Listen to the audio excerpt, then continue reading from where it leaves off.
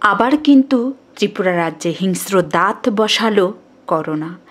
এ যেন ছাড়িতে না চাই ছাড়িয়া তো বুঝাই এই রকমের অবস্থা। চারজন এই পর্যন্ত আমাদের রাজ্যে পজিটিভ পাওয়া গেছে এই করোনা রোগে। দুজন অলরেডি ভালো হয়ে বাড়ি গেছেন, আবার নতুনভাবে অ্যাফেক্টেড হলেন দুজন। ওরা জিবি হসপিটালে রয়েছেন, চিকিৎসাধীন।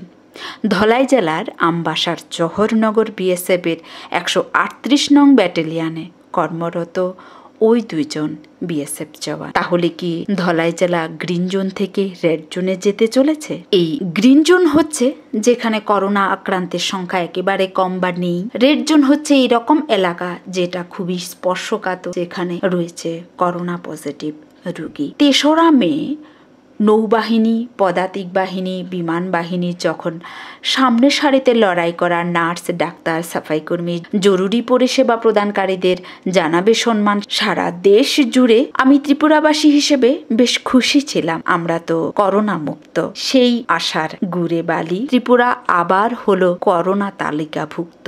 এবার আসব ওয়ার্ল্ড ফুড প্রোগ্রামের রিপোর্ট এই লকডাউনে। বিশ্ব ক্ষুধা সম্পর্কে। ওরা ডব্লিউএইচওর মতো স্বাস্থ্য নয়, ওরা বিশ্বের খাদ্যের ব্যাপারটাকে দেখে। ওয়ার্ল্ড ফুড প্রোগ্রামের রিপোর্ট অনুসারে আগামী তিন মাস যদি এই লকডাউন চলতে থাকে, আমাদের দেশসহ, বিশেষ করে আফ্রিকা, নাইজেরিয়া, আফগানিস্তানে তেরো লক্ষ লোক মারা যাবে খাবারের অভাবে। এই তিন মাসের পরেও যদি লকডাউন বাড়ে, তাহলে কিন্তু বিশ্ব সামনাসামনি হতে চলেছে খিদের আরেক মন্নন্তর। দুশো পঁয়ষট্টি মিলিয়ন লোক এই করোনা ভাইরাসের কারণে খিদের সাথে লড়বে। তার কারণ হিসেবে উঠে আসছে আমেরিকা, ইতালি, জার্মান, জাপানের মতো উন্নত দেশগুলি কিন্তু ওয়ার্ল্ড ফুড প্রোগ্রামে বড় দাতা বা ডোনার। এই সমস্ত দেশগুলি কিন্তু করোনার কারণে সবচাইতে বেশি অ্যাফেক্টেড তাহলে এই ফান্ডটা আসবে কোথা থেকে? আফ্রিকার একটা ড্রোন ছবিতে দেখা যায়, একটা খাবারের প্যাকেট পাওয়ার জন্য সাড়ে চার মাইল একজনের পর একজন লোক লাইন দিয়ে দাঁড়িয়ে আছে। আমেরিকাতেও গাড়ি নিয়ে খাবারের প্যাকেটের জন্য লোকেরা লেগেছে লাইনে। আমাদের দেশের কৃষকদের জন্য তাই আমার পক্ষ থেকে বলতে হয়, জয় কিষান জিও কিষান সত্যি সত্যি খিদে এক আশ্চর্য বিষয়। এই খিদে কিন্তু সন্তান বুঝে না, সম্মান বুঝে না, শাস্তি বুঝে না। সুকান্তের ভাষায় যদি আমরা বলতে চাই ক্ষুদার রাজ্যে পৃথিবী গদ্যময়, পূর্ণিমার চাঁদ যেন ঝলসানো রুটি। এবার আসব করোনার নতুন বিপত্তি সম্পর্কে। এটা কিন্তু আমেরিকা সহ আরও অনেক দেশের মতে করোনা একটা চীনা ভাইরাস, এটা তাদের লেবে তৈরি ভাইরাস। হয়তো সারা বিশ্বের অর্থনীতির বাজারকে কবজা করার জন্য চীনারা তথ্য লুকিয়েছিল এই সম্পর্কে। ওরা মানুষ থেকে মানুষের মধ্যে এই ভাইরাস ছড়াতে পারে এই তথ্য কিন্তু প্রথম দিকে লুকিয়ে রেখেছিল। সঙ্গে সঙ্গে এই বিষয়টাকে কিন্তু সাপোর্ট করেছিল ওয়ার্ল্ড হেলথ অর্গানাইজেশনও। চীনারা সবচাইতে বেশি যায় আমেরিকা সহ উন্নত ইউরোপিয়ান কান্ট্রিগুলিতে। তাই তো শুধু আমেরিকাতে এক লক্ষ একশো চৌত্রিশ হাজার আটশো উনিশ জন এই পর্যন্ত করোনা পজিটিভ। প্রতিদিন প্রায় সাঁত্রিশশো নূতন করোনা পজিটিভ রুগী ওদের দেশে আসছে। পঁয়ষট্টি হাজার নশো আটত্রিশ জন লোক এ পর্যন্ত মারা গেছেন। সারা বিশ্বে দুইশো বারোটা দেশ অ্যাফেক্টেড হয়েছে। তিন লক্ষ চারশো আটাশ হাজার ছয়শো বাহান্ন জন আক্রান্ত হয়েছেন। মারা গেছেন দুশো চল্লিশ হাজার ছয়শো চব্বিশ জন।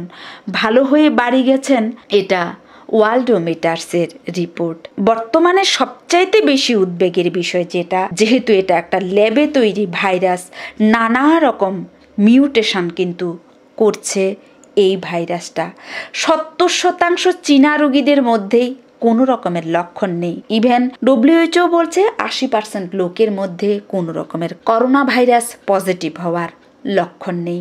অথচ ওরা করোনা পজিটিভ। এবার আসব ফোবর্স রিপোর্টে। ফোবর্স রিপোর্ট কিন্তু ওয়ার্নিং দিয়েছে চাইনিজ মোবাইল জিওমি মানুষের প্রাইভেট ডেটা চুরি করছে বলে। ডব্লিউএইচও সতর্কতা দিয়েছে বিভিন্ন দেশের যে ভ্যাকসিন তৈরি হচ্ছে, সেই ভ্যাকসিন সম্পর্কে সাবধানে থাকতে।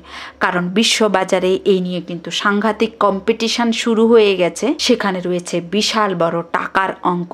তাই ডব্লিউএচও বারবার প্রত্যেকটা দেশকে যারা ভ্যাকসিন তৈরিতে এগিয়ে রয়েছে, তাদেরকে কিন্তু অ্যালার্ট করে দিচ্ছে। এর মধ্যে আমেরিকা ও চীনা ওষুধ সংস্থা বলছে ওরা ভাইরাসের ভ্যাকসিন বের করে ফেলেছে শুধুমাত্র ছাড়পত্রের অপেক্ষা। এবার আসব আমাদের দেশে লকডাউনের সুখবর সম্পর্কে।